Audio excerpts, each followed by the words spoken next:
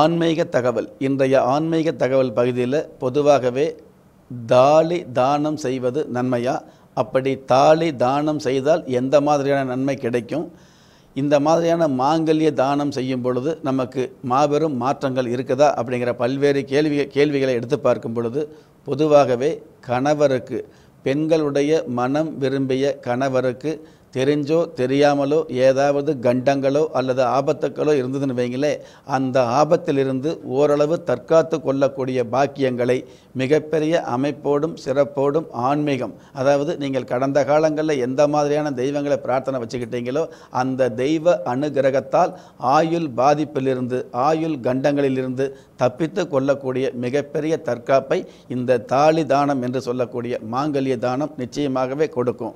இந்த மாங்கல்ய தானம் தானத்தை வந்து அனைவருமே செய்ய முடியுமா?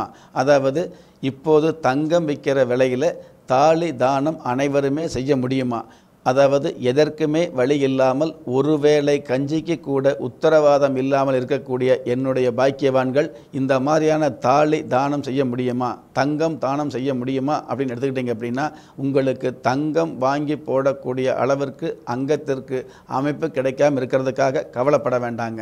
இந்த தாலி தானம் செய்யணும்னு மனசில் நினச்சிங்கன்னு வைங்களே நம்ம தாலி தானம் செய்ய முடியலையே அப்படின்னு கவலைப்பட வேண்டாம். அதாவது மஞ்சள் கயிறில் ஒரு மஞ்சள் துண்டை மஞ்சள் துண்டு எடுத்து அதாவது மஞ்சள் கயிறில் வந்து மஞ்சளை வந்து கட்டி அதாவது இல்லாத ஏழைகள் வீட்டில் திருமண சம்பந்தப்பட்ட வைபவங்களுக்கு மஞ்சள் கயிறு கட்டுவாங்க இல்லையா? அந்த மஞ்சள் கயிறில் மஞ்சள் வைத்து மூன்று நாள் இரவு நேரங்களில் தூங்கும்போது தலையணைக்கு அடியில் வச்சு அந்த மஞ்சள் கயிற்றை வந்து அதற்கடுத்து உப்பு டப்பாவிலேயோ அல்லது அரிசி பானையிலேயோ வைத்து ஒன்பது நாள் கழித்து நீங்கள் விருப்பப்பட்ட வேண்டுதல் செய்த பிரார்த்தனை செய்த கோயிலுக்கு இந்த மஞ்சள் கொம்பு தானம் செய்தாலே போதுங்க.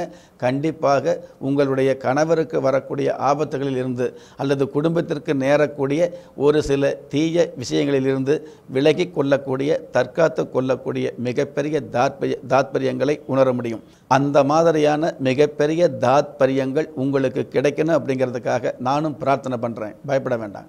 நெஞ்சுக்கிணைய நேயர்களே சில விஷயங்களுக்கு கவலைப்படலாம். ஆனால் எந்த ஒரு விஷயத்திற்கும் பயப்பட வேண்டாம் அப்படிங்கிற விஷயத்தை பக்குவமாக எடுத்துச் சொல்லி பொதுவாகவே ஒரு மனிதனை யார் கைவிட்டாலும் ஆன்மீகம் கைவிடுவதில்லை அப்படிங்கிற தத்துவத்தையும் இன்றைய நாளில் பதிவு செய்து மீண்டும் நாளைய தினப்பலன் நிகழ்ச்சியில் சந்திக்கும் வரை நன்றியுடனும் வாழ்த்துக்களுடனும் உலக மக்களுக்கான பிரார்த்தனையுடனும் உங்கள் ராஜயோகம் டாக்டர் கே.